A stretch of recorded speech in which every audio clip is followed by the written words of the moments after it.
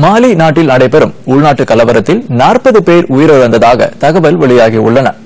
உகோசாகவ் கிராமத்தில் நேற்றிரவு நடைபெற்ற கலவரத்தில் மட்டும் முப்பத்தி ஒரு சிவிலியன்களும் ஒன்பது பாதுகாப்பு படை வீரர்களும் உயிரிழந்ததாக அரசு வெளியிட்டுள்ள செய்திக்குறிப்பில் கூறப்பட்டுள்ளது.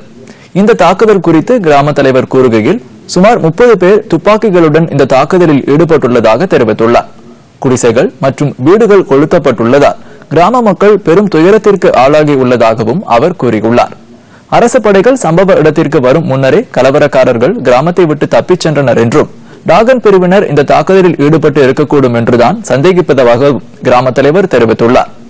இதனிடையே உள்நாட்டு கலவரம் அதிகம் நிகழும்.